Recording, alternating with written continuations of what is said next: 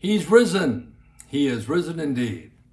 First, I hope that things are going well with you. I know it's difficult to shelter in place, and hopefully you're staying healthy and, and indoors and looking forward to conclusion to this thing uh, down the line. But on this glorious morning, I want to share with you a few thoughts about that first Easter. Now, I know in the four Gospels, Matthew, Mark, Luke, and John, there are various accounts uh, about the story. And it starts on Friday when Jesus, of course, dies on the cross and then he's buried and then uh, he raises uh, from the dead on that Sunday morning, three days later, as he said he would do. But the question I want to start with this morning is this What did the first Easter have in common with Easter 2020? Well, everyone is sheltering, everyone's hiding, everyone is indoors. Why? Because we're fearful fearful of, you know, in the time of Jesus, they were certainly fearful of the Jewish leadership and the, and the Romans. But today it's the coronavirus that keeps us uh, indoors. And so we know that a few went to the tomb that morning to, to see Jesus, but just a few because everyone else was hiding or, or sheltering. And it's interesting, the most significant event uh, in the Christian faith, the resurrection of Jesus Christ from the grave, was a nondescript moment in a remote part of the world, which seemingly had little or nothing to do with the global politics of that day. Does that sound familiar? Well, possibly. You know, the world goes on, but Jesus Christ did something phenomenal that shaped the entire world for the next 2,000 years and certainly beyond. So, listen to this churches are empty today because people are sheltering in place, people are fearful. But let me say this the tomb of Jesus was also empty. And thanks be to God for that, right? That Jesus Christ rose from the dead. So, what is the impact of the resurrection? Well, first and foremost, it takes away the fear of death. And the Apostle Paul writes about this in his first letter to the Corinthians, chapter 15, verses 51 to 57. And I want to read this to you because it's important to understand what I'm talking about when I say he took away the fear of death. Paul writes, Listen, I tell you a mystery. We will not all sleep, but we will all be changed in a flash, in the twinkling of an eye, at the last trumpet. For the trumpet will sound, the dead will uh, be raised imperishable, and we will be changed.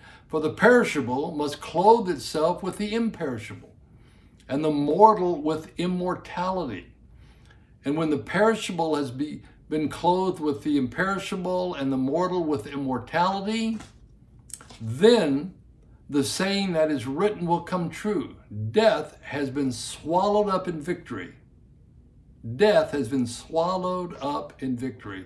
Where, O death, is your victory? Where, O death, is your sting? Now listen to verse 56. The sting of death is sin, and the power of sin is the law. But thanks be to God who gives us the victory through our Lord Jesus Christ.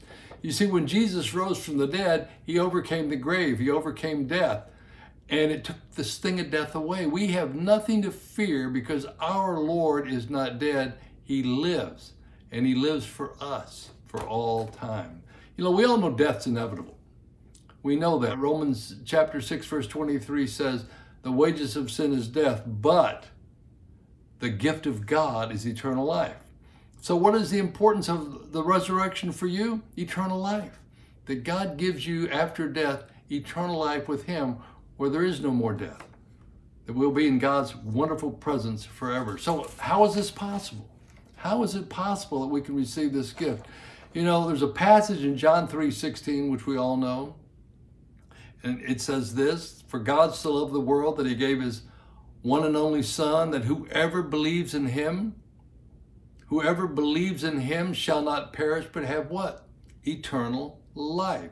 You see, your faith in the death and resurrection of Jesus Christ seals that deal for you.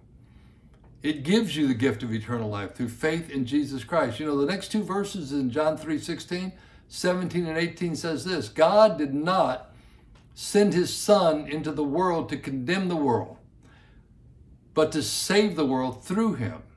Whoever believes in him is not condemned, but whoever does not believe stands condemned already. Why? Because they have not believed in the name of God's one and only Son.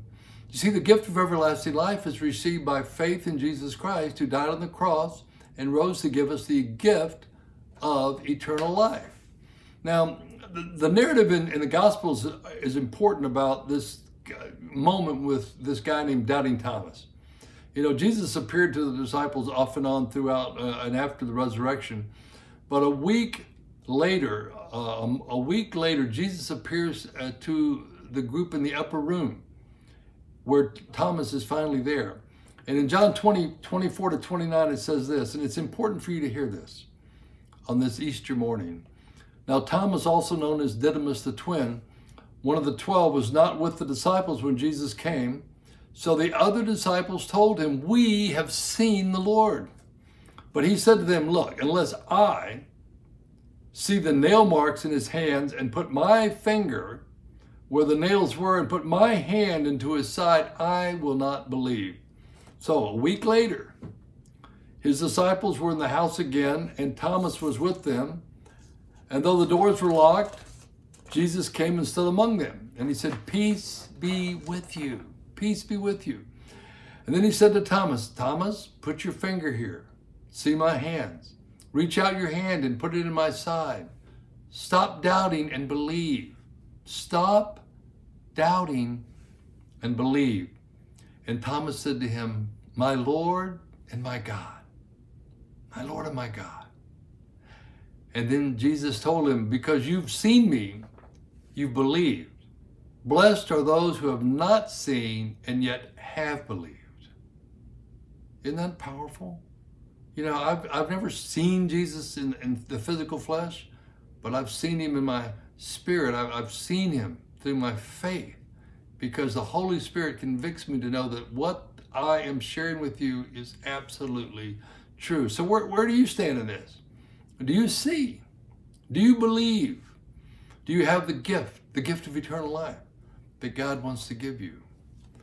Because it's available through faith in Jesus Christ. You know, in Ephesians 2 8 9, it says, By grace we are saved through faith, not works, but it's a gift of God, a gift of God given to us. So, my prayer for you on this Easter morning is that the Holy Spirit will empower you to fully embrace the love of God through Jesus Christ today and always, and that His peace will fill you and cover you. And look, if you haven't made that step of transition to receive Jesus Christ as your Lord and Savior, then this morning is the time to do it. I would not let the sun set today without declaring Jesus Christ as my Lord and Savior. And I want to just uh, repeat to you the words of the Apostles' Creed, not written by the apostles, but written you know, several hundred years later as an expression of, of the succinct fundaments of the Christian faith. I believe in God the Father Almighty, creator of heaven and earth. I believe in Jesus Christ, his only Son, our Lord, who was conceived by the Holy Spirit, born of the Virgin Mary, suffered under Pontius Pilate, was crucified, died, and was buried. He descended into hell. The third day he rose again from the dead and ascended into heaven, and sits at the right hand of God the Father Almighty, and will come again to judge both the living and the dead. I believe in the Holy Spirit, the holy Christian church, the communion of saints, the forgiveness of sins, the resurrection of the body, and life everlasting. Amen. That is the faith of the fathers. That's my faith in a triune God, a God who created the Father, a God who redeemed the Son, a God who empowers and seals it, the Holy Spirit. And it's my prayer today that you'll receive the fullness of God's love for you through his Son, Jesus Christ, and let the Holy Spirit uh, em- empower this, seal this in you, that you will know with absolute certainty that death has no victory over you. The sting of death is gone, and the gift of God is eternal life. So have a blessed Easter. And I just invite you to share this message with others. If there's some people that you know that need to hear what I've just shared with you, then I encourage you to share it with them that they also may be blessed. He's risen. He's risen indeed. Amen.